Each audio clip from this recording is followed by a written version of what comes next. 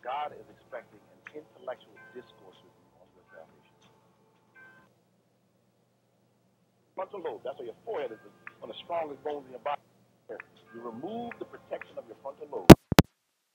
Full access, not simply at your conscious, but at your subconscious. Music bypasses the frontal lobe. It enters, your ears are way back here, your frontal lobe is way up here. This is your temporal lobe. Music bypasses your frontal lobe, gets into your brain, so that when music is given to you, whatever message is tied to the music is not properly analyzed. God is expecting an intellectual discourse with you on your salvation. We are intellectual beings, even though most of us don't act like it. We are. And because we're intellectual beings, and God is a God of intellect and understanding, God wants to intellectually dialogue with you because you have to come to the point where you accept the fact you are unworthy of, of, the, of the merits that God is ready to give you. That you are a sinner, that, that you have problems. And so most of us are in denial. You cannot overcome denial without reason and intellect. The alcoholic, he has to sober up long enough. That's why sometimes you have to just get them away from drugs or alcohol long enough for them to come to their senses and say, that's why the rich young ruler could not, not the rich young the prodigal son could not return to his father until he lost everything.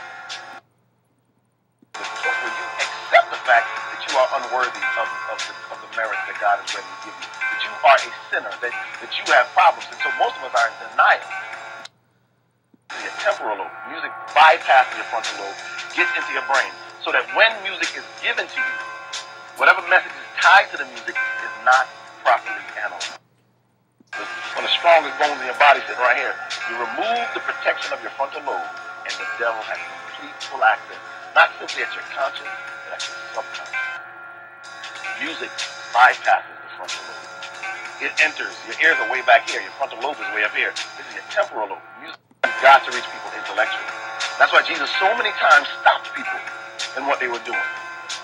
Nicodemus was trying to find a nut. I mean, when he said, look, no, you must be born again.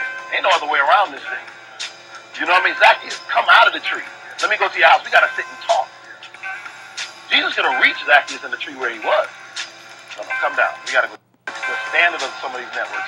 And as they do this, this stuff is bypassing the frontal lobe. So when you have a rapper say, I am Jehovah God MC, or when you have a rapper say um, um, at the beginning of the movie Belly, um, it says, "I sold my soul to the devil and the price was cheap." Living life on this on this level is twice as deep. And you got some poor child ain't got a, some boy ain't got a father, and this bass voice comes through the through the speaker with the, with this hot beat, and he says that this part of the brain is off. All he's getting it into deep into the core of his being is, "I sold my soul to the devil and the price is cheap." living life on this level and it's price is deep. He is now taking in DMX's message all the way down deep into his soul, and it is to sit there. Because everything that goes into your brain stays.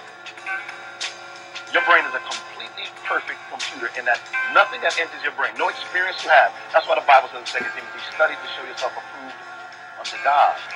No matter what you do, you're studying. Every time we sit down and listen to Beyonce uh, or, or, or, or Jay-Z or anybody, you're studying.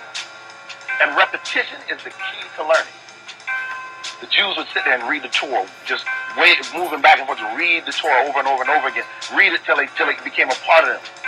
If you sit there and listen to the lyrics over and over and over again, you cannot help but have those things reinforced in your mind so deeply that it becomes And you will begin to behave.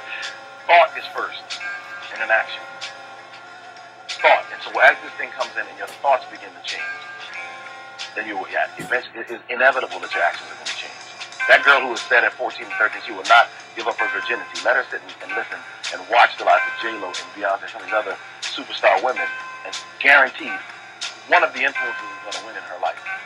And usually the one that is most time spent, most money spent, most exposure, that is the one that's going to have the, the ultimate winning force. And so our young people have to really be discerning and step away from a lot of things. And, and let me say this, you, some things you cannot cut down on. You know, I have people who have certain diseases, um, like like you know, I have people with, with COPD and emphysema.